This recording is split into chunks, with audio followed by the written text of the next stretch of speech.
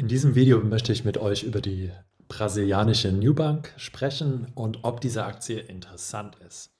Damit äh, herzlich willkommen bei Marxen Brothers. Mein Name ist Philipp Marxen und es ist ein Wunsch gewesen, den Fabian, du hattest das bei der letzten, beim letzten Video geäußert, diesen Wunsch.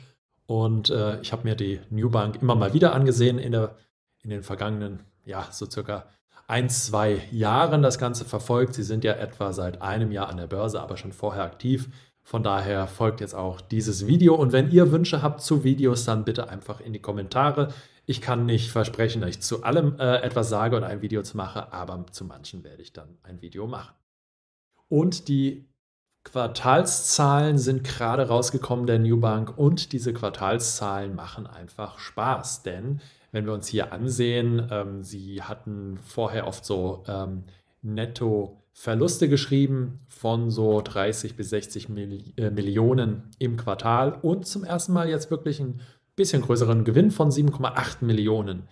Ähm, wenn wir uns das Ganze auf adjustierter Basis ansehen, dann äh, weisen sie sogar einen Gewinn von 63 Millionen aus äh, für das dritte Quartal. Also eine sehr, sehr positive Entwicklung, wenn man es im Vergleich sieht. Und auch hier äh, eine andere tolle Grafik aus ihren Investor Relations Präsentation für das dritte Quartal ist einfach, wie viele Kunden sie insgesamt haben. Und es ging eben langsam los. Äh, und mittlerweile haben sie über 70 Millionen Kunden, vor allem in Brasilien, aber auch in Mexiko und Kolumbien. Und ich kann euch sagen, ich kenne auch einige Leute, die Newbank-Kunden sind, die insbesondere darüber eine Kreditkarte haben, in Kolumbien zum Beispiel auch. Und weiß deswegen, ja, diese Kreditkarten werden genutzt, diese, die Newbank wird genutzt. Das sind jetzt keine Zahlen, die so auf den ersten Blick unrealistisch erscheinen. Risikohinweis vorneweg gerade bei solchen ähm, doch eher schwierigen Strukturen äh, kann es sich immer auch Fehler einschleichen und bitte bildet euch eure eigene Meinung. Ja, was ist das Business der New Bank? Die New Bank ist ähm, in ganz vielen Bereichen tätig, allerdings sollten wir uns vor allem auf das wesentliche Business konzentrieren und das sind eben Kreditkarten und Debitkarten. Also gerade über dieses Kartenbusiness versucht man dann hier in den Markt reinzukommen und darüber dann verschiedene Module weiter auszubauen. Und der Markt, das bedeutet Lateinamerika, im Moment Brasilien, Kolumbien und Mexiko. Man hat in Brasilien angefangen, ist dann nach Mexiko gegangen und ich glaube, so seit anderthalb, zwei Jahren ist man jetzt auch in Kolumbien. Der Gründer ist Kolumbianer und äh, das Head Office ist in Sao Paulo. Aber man muss sagen, durch diese Kreditkartengeschichte ist es oft das Einfachste, wie man in den Markt kommt. Und sehr viele Leute haben eben keinen Zugang zu Bankdienstleistungen und Kreditkarten in Lateinamerika. Und deswegen ist es wirklich ein Painpoint, den diese Firma angeht.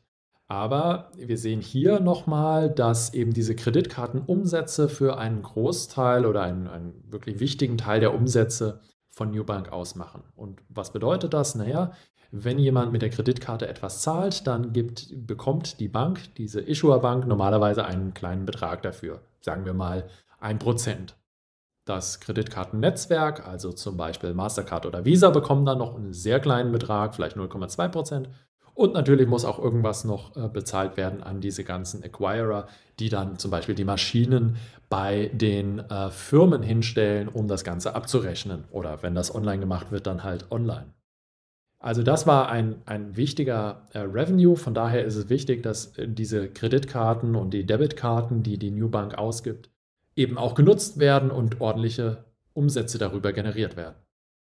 Und wenn wir uns das ansehen, hier auf der rechten Seite Purchase Volume per Customer, sehen wir, dass mit der Zeit, mit den Monaten wird das immer mehr. Und in die ältesten Kundengruppen, die so 2017, 18, 19 gewonnen wurden, haben jetzt häufig schon um im Durchschnitt 200, 250, 300 Dollar Kreditkartenumsatz im Monat. Dazu muss man sagen, dass natürlich zuerst sehr eher reichere Kunden gewonnen wurden, eher Kunden, die äh, mehr Geld zur Verfügung haben und mehr Geld ausgeben wollen und Jetzt die letzten Kundengruppen sehen wir, sind eher Kundengruppen, die einfach nicht so viel ähm, Geld zur Verfügung haben und äh, auch nach äh, 12 oder 24 Monaten immer noch praktisch monatlich teilweise nur 100, 150 Dollar über diese Kreditkarte bezahlen.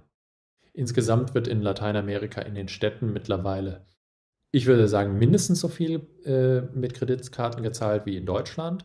Klar, ist, man liegt noch weit zurück im Vergleich zu Asien, im Vergleich zum Beispiel zu China, äh, Südkorea, aber auch zu Ländern wie Holland oder Schweden, wo praktisch alles mit Karte bezahlt wird. So ist das natürlich in Südamerika nicht.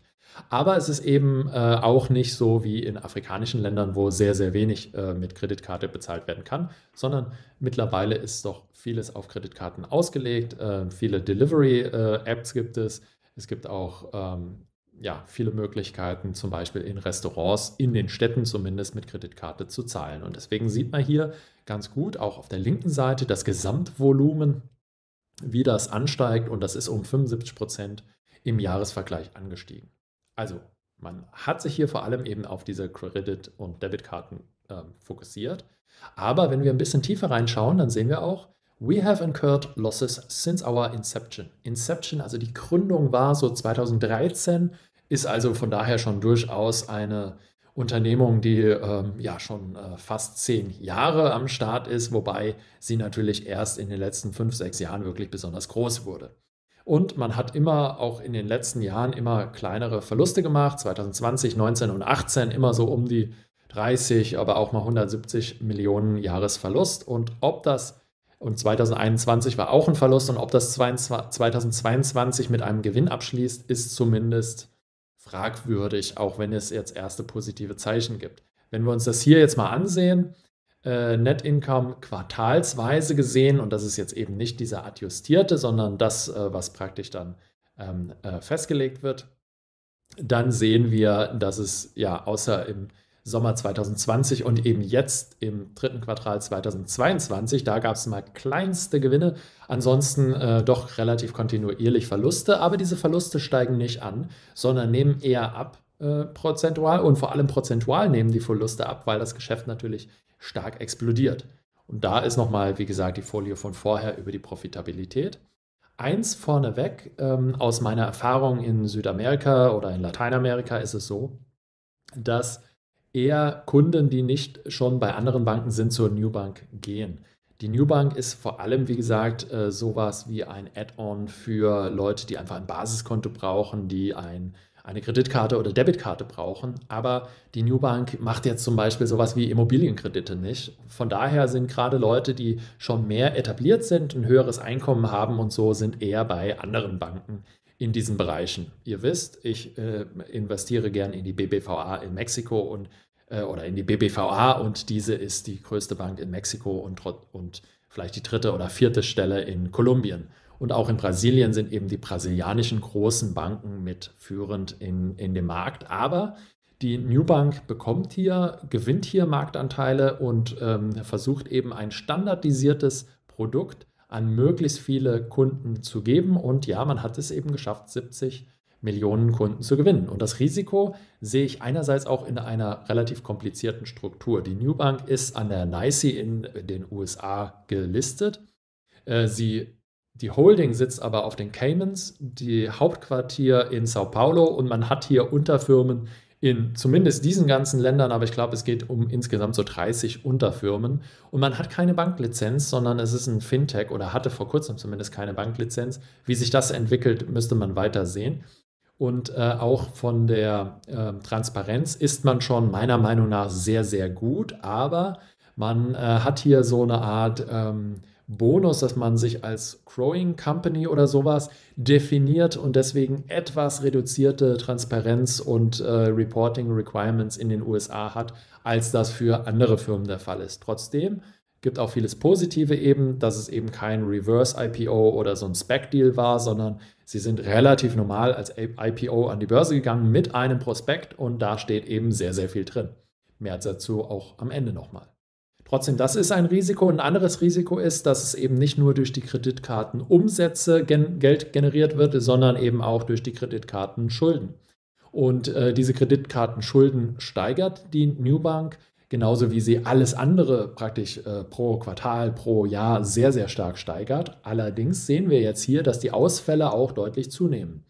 Wir haben jetzt äh, Ausfälle über 90 Tagen, also wo praktisch Kunden über 90 Tage im Zahlungsrückstand sind, liegen jetzt so bei circa 5% und sind angestiegen von Ende 2020, wo sie so bei 3% lagen. Also ein negativer Trend, ähm, den man beobachten muss. Und insbesondere bei den 15 bis 90 Tagen NPLs, normalerweise nennt man das dann nicht unbedingt NPLs, aber ähm, äh, sei es drum, hier sehen wir eben auch einen Trend, der seit dem dritten Quartal 2020 ansteigt und jetzt auch so um die 4% liegt. Und das heißt, von diesem ba äh, Basket könnten natürlich mehr auch in diese über 90 Tage reinkommen. Und das ist dann, äh, wenn sich das noch verstärkt, dieser Trend, könnte es zu größeren Abschreibungen kommen. Und das ist äh, natürlich ein Risiko für die, ja, im Moment schon sehr schlechte Profitabilität der Newbank. Wie ist das jetzt in Investieren? Also, wir haben einige Probleme, wir haben aber auch eben dieses gigantische Wachstum und diese gigantische Anzahl an Kunden. Und ich kann das auch nachvollziehen, weil, wie gesagt, ich, äh, ob das jetzt 70 Millionen ist, das kann ich natürlich nicht sagen, aber äh, wenn man mit Leuten aus Brasilien spricht, wenn man mit Leuten aus Kolumbien spricht, dann werdet ihr auf jeden Fall Leute finden, die Newbank-Kunden sind und das auch nutzen und ähm, die kennen auch alle die Newbank. Also von daher ist das auch äh, durchaus nachvollziehbar. Und die New Bank wird sehr positiv gesehen. Also von daher spricht einiges dafür, aber eben auch einige Risiken dagegen. Und äh, ein großer Grund, was mir so ein bisschen missfällt oder wo ich einfach nicht sicher bin, ist, der CEO David Velez Osorno, wie gesagt, er kommt aus Kolumbien, aus Medellin, äh, ist aber wohl teilweise dann woanders aufgewachsen. Auch da gibt es unterschiedliche Geschichten. Es gab eine Sache, wo er wohl äh, als Neunjähriger nach Brasilien kam. Das war, glaube ich, ein falscher Zeitungsartikel. Andere Zeitungsartikel sprechen davon, dass er so mit acht Jahren, äh, acht, neun Jahren nach Costa Rica gegangen ist. Er kommt aus einer Unternehmerfamilie. Ähm, Und man muss sagen, natürlich, das war gerade so die Endphase von Pablo Escobar, wo es in Medellin sehr hoch herging und äh, zumindest da ein paar hinter ja, Fragezeichen. David Velez Osorno ist, ähm, hat eben die meisten dieser Class B-Shares. Also es gibt hier bei der Newbank sehr viel äh, wie eine Technologiefirma wird das geführt und es gibt A- und B-Klassen-Aktien. Die B-Klassen-Aktien haben deutlich mehr Stimmrechte und so kommt es einfach, dass der CEO praktisch alles überstimmen kann. Das heißt, man, wenn man hier rein investiert, muss man einfach diesem CEO vertrauen ähm, auch nicht nur, dass er diese Firma weiterentwickelt, sondern eben auch, dass er diese praktisch zwar Mehrheitsaktionären, aber Minderheitsstimmrechtseignern hier auch mitnimmt in diese Entwicklung. Und wir sehen hier mehr auch, dass durchaus für diese ganzen Manager sehr viele Stock-Based Compensations dann auch ausgeschüttet werden. Also nochmal die Frage, vertraut man den Managern und ähm, ist man da im gleichen Boot? Eben eigentlich ist man nicht im gleichen Boot, man hat andere Aktienklassen und man müsste es eher sehen äh, wie eine Art Technologiefirma. Und dann kommen wir zum nächsten Punkt der äh, Valuation, der Bewertung des Ganzen. Für Banken macht es einerseits Sinn, das Ganze mal im Vergleich zum Buchwert und zwar zum Tangible äh, Book Value zu sehen, also ohne sowas wie Goodwill. Und dann sehen wir, dass im Vergleich zum Buchwert ist eben die Newbank extrem hoch, immer noch über dem Vierfachen dieses Buchwertes, während bei BBVA haben wir, sind wir unter dem einfachen Buchwert. Das muss jetzt nicht sein, heißen, dass BBVA dadurch eine besonders gute Investition ist, aber es heißt natürlich, dass im Vergleich zu anderen Finanzfirmen äh, Newbank besonders hoch bewertet ist. Und auch im Vergleich zu den Umsätzen ist die Newbank sehr, sehr hoch bewertet. Hier wiederum im Vergleich zu BBVA 1,5-fache ist sehr, sehr niedrig bewertet im Vergleich zu zum Beispiel äh, guten amerikanischen Banken, aber die New Bank mit 15,6-fache ist sehr hoch bewertet. Das heißt, äh, wer hier investiert, der muss davon ausgehen, dass diese gute Entwicklung, die die New Bank genommen hat, zumindest noch zwei, drei Jahre so weitergeht und sich insbesondere in Profitabilität dann auch niederschlägt, in deutlich höherer Profitabilität. Und man braucht zusätzlich die Annahme, dass das Management auch eben diese Minderheitsaktionäre oder die mit den Minderheitsstimmrechten auch daran partizipieren lässt. Und mir ist es einfach, äh, die Bewertung ist mir persönlich etwas zu hoch, aber klar, es gibt, ist eine tolle Entwicklung und ich möchte das weiter verfolgen. Wie habe ich jetzt investiert? Und ja, ich habe eine Art Investment da gemacht. Das äh, findet ihr dann in meiner Newbank-Analyse, die ich äh, auf der Webseite marksandbrothers.com publiziert habe. Bitte schaut doch mal da rein. Und wie gesagt, wenn ihr Ideen habt für weitere Videos und ich glaube, ich werde in der nächsten Zeit eher wieder mehr Banken analysieren, dann schreibt es mir unten in die Kommentare. Vielen Dank für eure Unterstützung und bis zum nächsten Mal. Ciao.